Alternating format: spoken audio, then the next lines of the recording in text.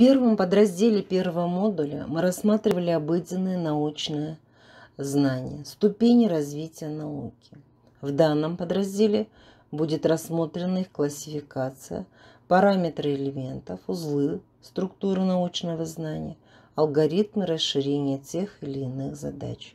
Известно, что закон Бойля-Мариотта дает возможность по заданному объему газа численно определить давление, а зная закон Шарля, можно предсказать, насколько увеличится объем данной массы газа при его нагревании. Подобного рода эмпирические законы и обобщения, с которых начинается любая наука, в лучшем случае могут объяснить и предсказать определенные факты исследуемой области. Но сами эти законы, в свою очередь, требуют объяснения.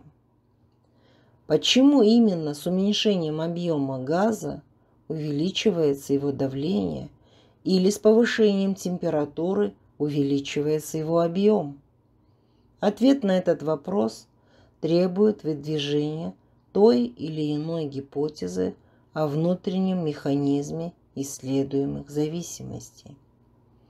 Создание кинетической теории базирующийся на допущении существования хаотического движения мельчайших частиц вещества молекул, дало ответ на указанные вопросы. В зарубежной литературе часто отличие науки от обыденного знания видят в том, что ученый имеет дело преимущественно с так называемыми ненаблюдаемыми объектами – такими, как элементарные частицы физики или гены в биологии. Здесь подмечена существенная особенность процесса научного познания – раскрытие сущности исследуемых явлений. Поскольку сущность не лежит на поверхности явлений, для ее раскрытия приходится вводить абстракции и идеализации – обращаться к гипотезам и теориям.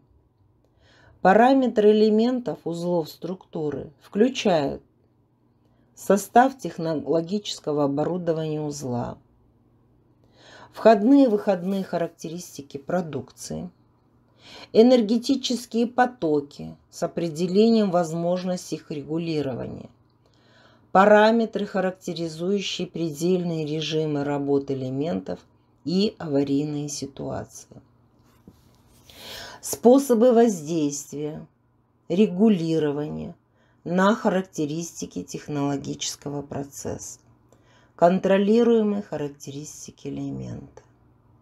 В обыденном знании, хотя и прибегают догадкам и предположениям, во-первых, они касаются непосредственно наблюдаемых вещей и событий, во-вторых, эти догадки никогда не контролируются специальной техникой, не говоря уже о постановке особых экспериментов. Наука, даже на эмпирической стадии исследования, руководствуется теми или иными теоретическими представлениями и контролирует свои гипотезы с помощью специальных приборов и инструментов – которые в свою очередь сконструированы на основе определенных теоретических принципов. Любая достаточно зрелая наука представляет систему теорий, которая объединяет в единое целое ее исходные принципы, понятия и законы вместе с твердо установленными фактами. Именно благодаря систематичности – обоснованности, контролируемости.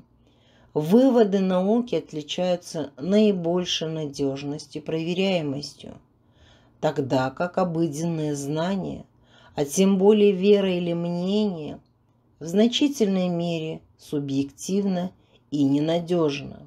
Однако, как бы ни было важно подобное различие, его нельзя абсолютизировать.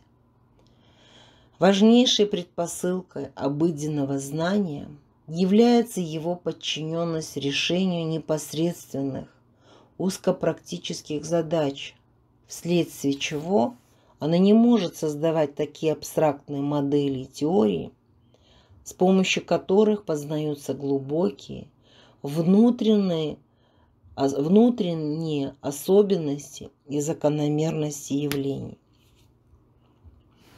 Обычно, когда сравнивают научное познание с обыденным, то существенное различие между ними видят прежде всего в тех способах и средствах, с помощью которых достигается знание в науке и повседневной жизни.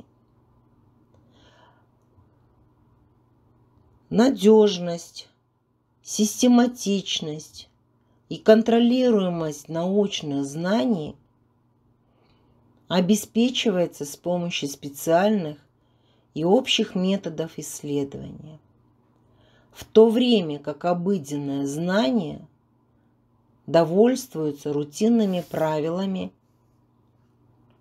опирающимися на здравый смысл и простейшими индуктивными обобщениями непосредственно воспринимаемых предметов и явлений. Как правильно подчеркивает Клаус, практическое мышление не систематично и не методично. В данном подразделе мы рассмотрели классификацию обыденного и научного знания, ступени развития науки, параметров э, элементов, алгоритмы расширения тех или иных задач. В следующем, третьем подразделе первого модуля будут рассмотрены проблемы алгоритмизации науки, методы решения проблемы алгоритмизации, специальные методы и техники, которые используются в частных науках и общие методы науки. Обоснование понятия эффективности, методы и примеры отличия науки от обыденного знания. Применение и разработка специальных и общих методов познания, которые опираются на открытые ею закономерности той или иной области реального мира.